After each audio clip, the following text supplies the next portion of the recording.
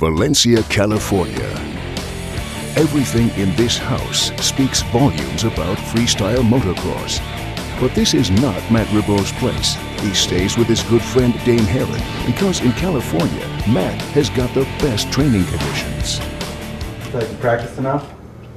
I don't know. You never know. You never know until the season starts. Yeah, for sure.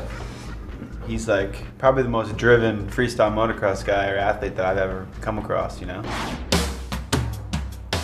Mat spends more time in the garage than in the living room. He leaves the house without breakfast. There's just no time for things that keep him from riding. I don't know. I just don't take breakfast. Not usually. Then uh, I just drink something, like take a coffee and, and go ride.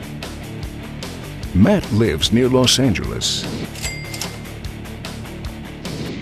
But he has never been to Hollywood, and he has not seen the Sunset Boulevard either. He has only one destination.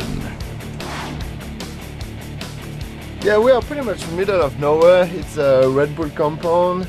It's, uh, I think, pretty much the best uh, place on the world to practice dirt bike.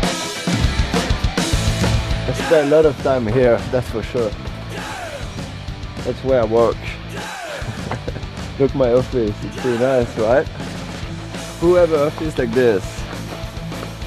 And who else enjoys his job like